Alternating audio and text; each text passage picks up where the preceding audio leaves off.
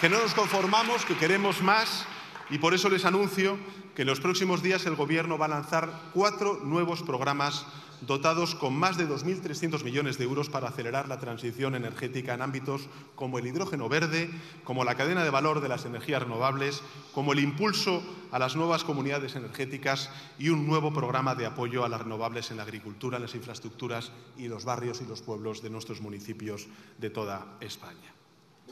Señorías,